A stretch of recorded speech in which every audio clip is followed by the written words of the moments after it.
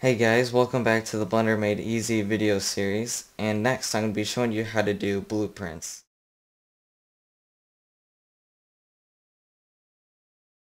You probably already decided what project you're going to use, and now you just need to do a simple Google search.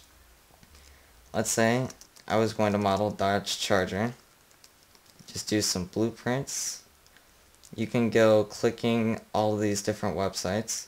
Theblueprints.com is probably one of the best sites that I have found. The only problem with some blueprints is that you have to pay money for them, or sometimes you get lucky and you can get them for free. I'll go into the images section, and here's some good examples of some good free blueprints. You want to make sure that they're all about the same size, or else that can really screw up your model, and you'll find out later on. Now that you have the blueprints you want picked out, you're going to open it. It's paint.net because it's easy and simple.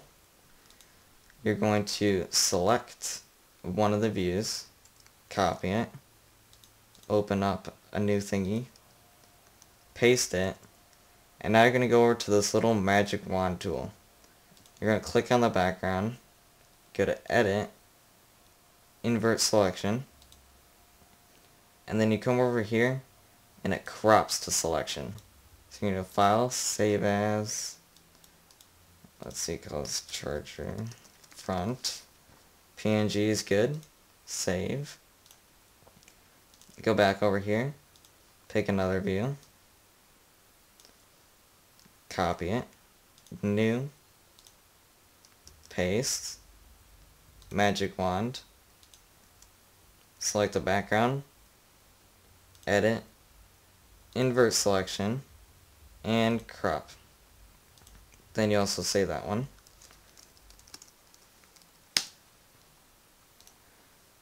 And then you do that for all four views, or however many views that you actually have. Now that you have all of your views all cropped out together, there's one thing you need to make sure that you have. Go to the top view, and you're going to want to rotate that so that it's facing whichever way your side view is. So if your side view is facing to the front, you're going to want that facing down.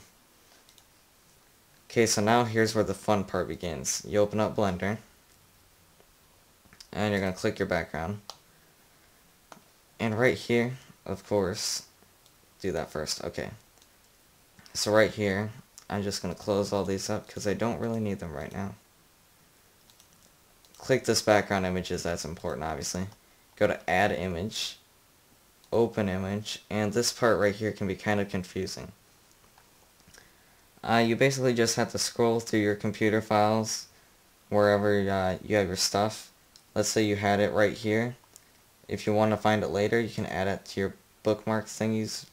Yeah, right there.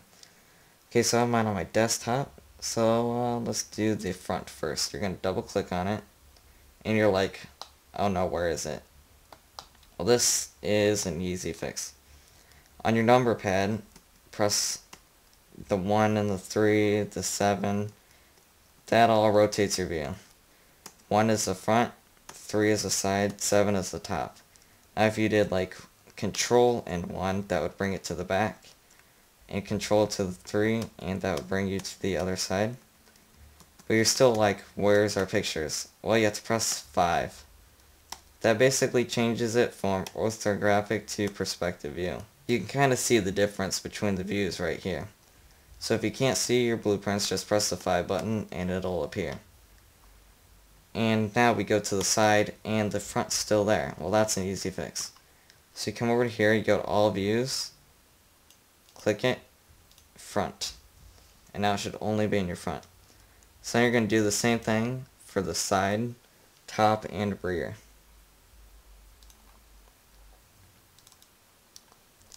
Got my side in. Show it only, I think this is the right side. Yep. Front right, and let's do the back.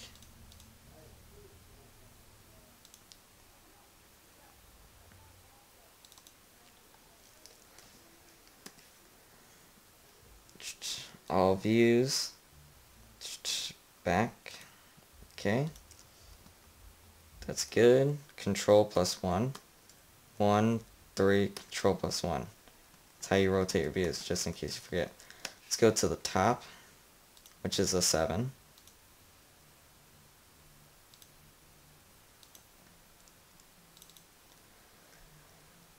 Remember, the number pad is your best friend here. Just because your blueprints are in Blender does not mean that they're ready to be modeled on.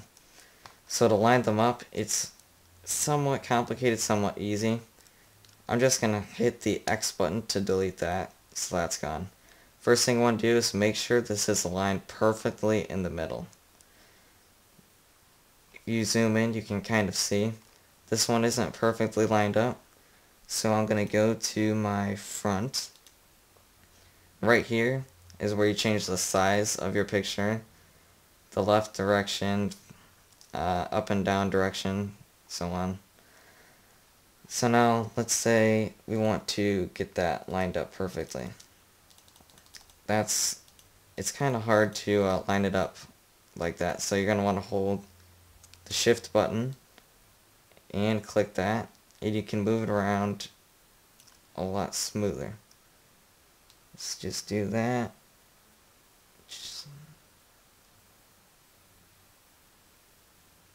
And that's pretty much in the middle right there. So we're going to go top view, make sure it's lined up in the center. And it is. The side view you can't really do that with. The back view Let's go down here. That's pretty much in the center. And we're still not done yet. We're going to go to the top view. Now we're going to go to add mesh plane. We're going to use this plane to line up all of our views together. What we're going to do is G on the X axis, get that somewhat into the middle, right there. Remember that's in uh, edit mode with the tab button. So now we're going to right click that, shift right click that. We're going to grab it with the G button on the Y axis. And we're going to get that to the very back of the car. I'm going to right click, shift right click, G on the Y.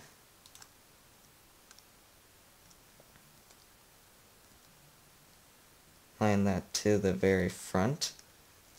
And now we just need to get it lined up to the very right.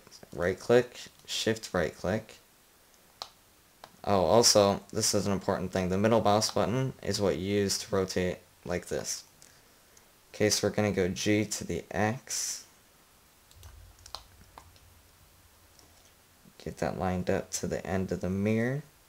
If these aren't lined up perfectly, then it'll give you problems in the future. And holy crap. Something's not right here. So what we're going to do is we're going to have to go to the side picture. And we're going to have to scale up this entire side. You can click and hold it like that and we can't really tell. Let's see, this G. Oh, crap. Press A. A is selecting all the vertices. We're going to call these little dots vertices from now on. G to the Z. And let's just see if it fits. No, it does not. So we need to get the size of this car down.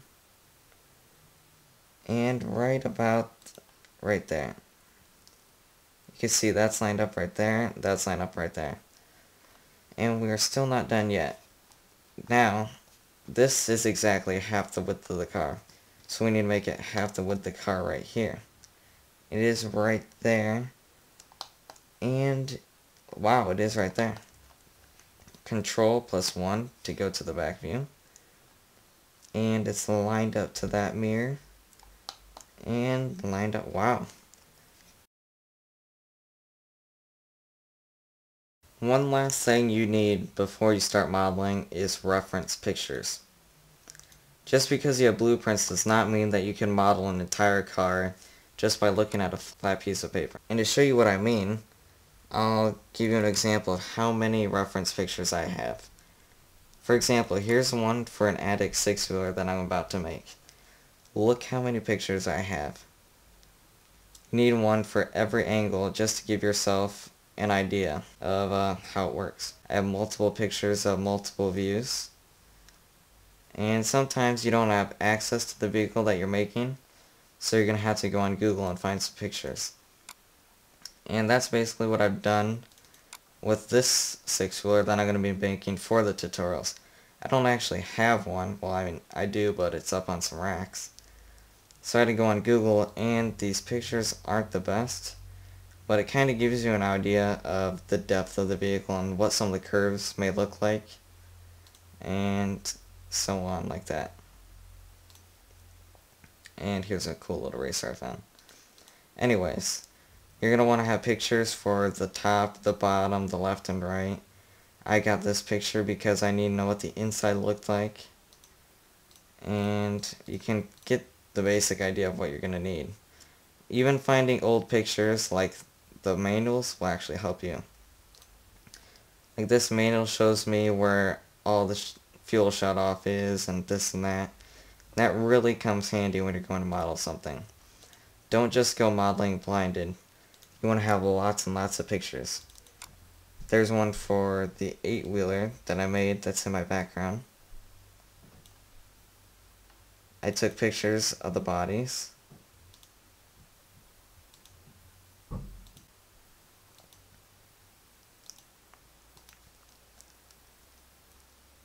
The more pictures that you have, the more likely you are to have a successful model.